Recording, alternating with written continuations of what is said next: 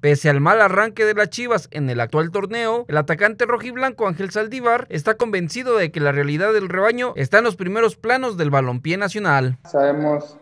que a Chivas siempre eh, se le exige por, ser el equipo grande, entonces eh, en esa parte estamos muy conscientes de ello, estamos comprometidos, sabemos que, que del torneo pasado, de lo que se hizo, de ahí para arriba, eh, nosotros tenemos que aspirar a eso y sabemos que que Chivas está para, para conseguir grandes cosas, títulos, eh, estar, estar en, lo más, en lo más alto. Entonces, eh, sabemos que, en las malas situaciones, eh, sabemos que siempre nos van a, nos van a tirar, nos van a criticar. Este, creo que a Chivas se le, se le critica o se le tira de más que en otros equipos y estamos conscientes de ello.